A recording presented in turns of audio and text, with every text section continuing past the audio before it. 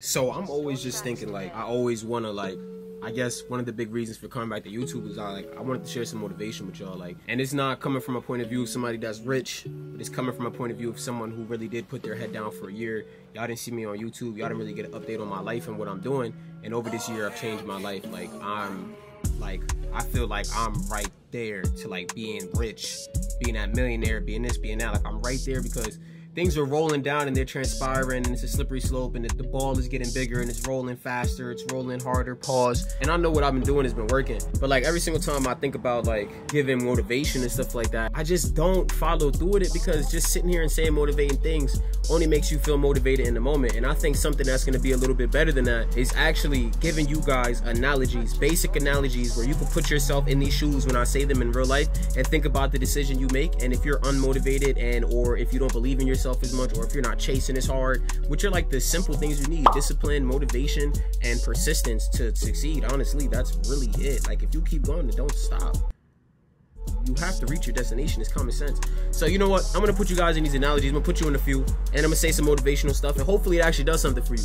So boom. First things first, I feel like majority of people don't believe in themselves and feel like people use the excuse of like not having what you need, not having the equipment, not having the, the skill, the history, what's the word I'm looking for? The experience. Like you don't you don't have something like you're lacking something, right? And because you're lacking that thing, like you don't start because like you want to start perfect. Like you don't want to start with mistakes. You want to start and get rich like automatically.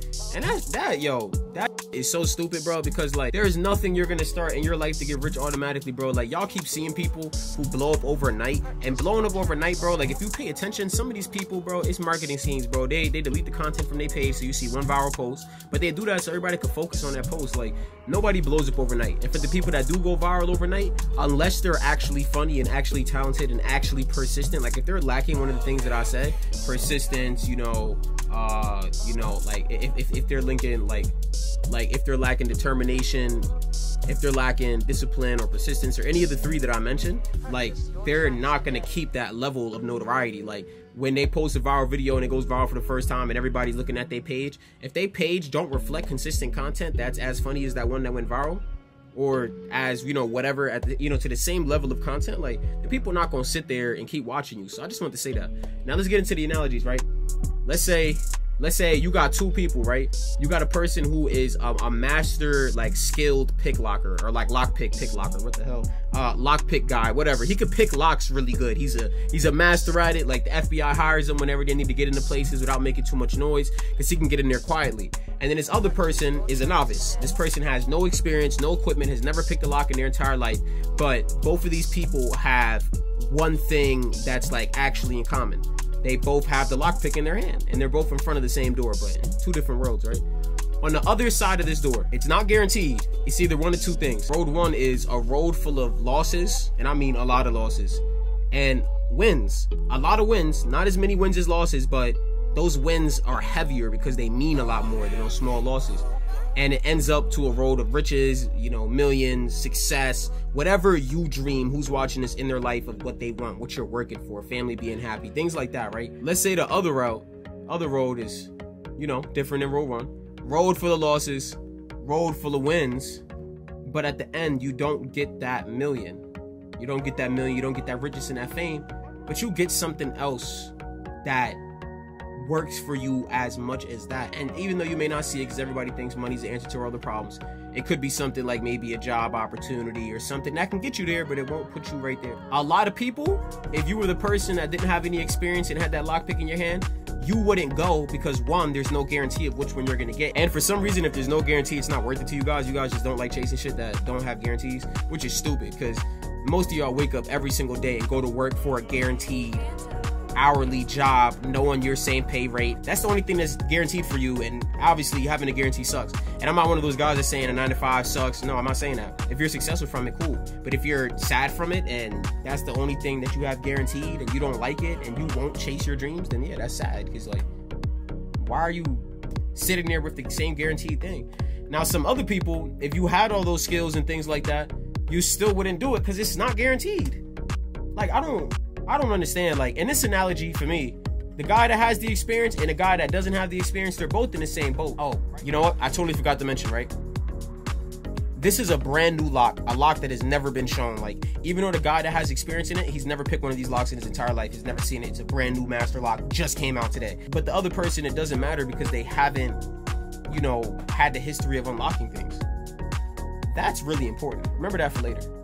Now, I find it crazy because, like, in this situation, both people have the same chance. Now, a lot of people will make the excuse that the person with the background that has the background and picking locks and all this stuff like that can like you know oh he's different he has the upper hand that's the same thing as people like people that don't have money see people with money and when they chase their dreams because they had money they say oh well they got rich and famous like even more rich and famous because they came from money like yeah that might be true bro but you can't buy a lot of things like you you can't buy subscribers like you could go buy tools and buy like cars and buy spaces for pranks and pay actors and but if it sucks, it sucks. Like it doesn't matter how much money you put into it, unless you let someone else completely take over the production, and nobody's really doing all that. So that, that's called a director. So like you know, and that's just an example for YouTube. But like everybody just finds like for every single reason you don't want to start something, you find an excuse. And if it's not an excuse with something that you lack, it's an excuse with with something that you don't have the fair opportunity. And like me, I'm that kid that has no background with the lock picking at all. Has never unpicked the lock. I'm talking about played college basketball and didn't play high school basketball, bro. Got cut, didn't make the team, no minutes, rode the bench, all that stuff, bro. Like didn't see the court. Like I need you to understand, like didn't see the court, bro. Like, like for real. Like, and then I go play college basketball.